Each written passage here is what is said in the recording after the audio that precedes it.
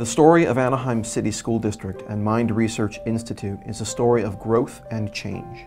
What started as a small farming community is now the 10th largest city in the state and an international tourist destination. Anaheim City School District serves almost 20,000 kindergarten through sixth grade students.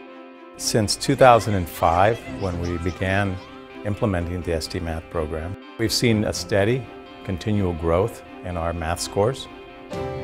Five years ago, two schools in the district were using Mind software, and only 38% of students were proficient in math. Today, all 24 schools are using the program, and 61% of students are proficient or advanced in math. The district is on track to close the math achievement gap within the next two years. We're very pleased to have Alexander J. Stoddard be recognized as School of the Year for Mind Institute. In 2005, 39% of Alexander J. Stoddard elementary students were proficient or advanced in math. In 2011, that number grew to 66%. In the past, I found math very boring, but when I did JiJi, it was very fun.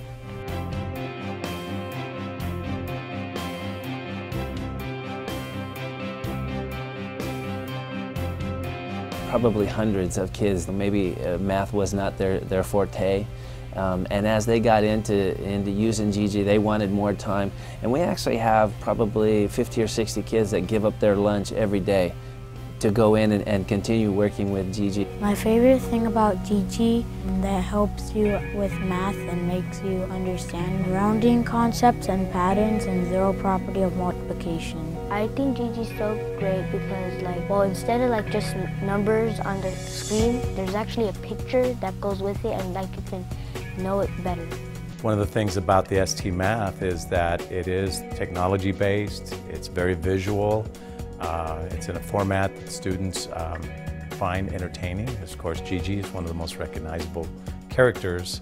It really is a motivational factor and also the fact that because it is a visual learning tool and we have almost 60% of our students have been identified as English learners, it allows them access to learning math concepts more readily.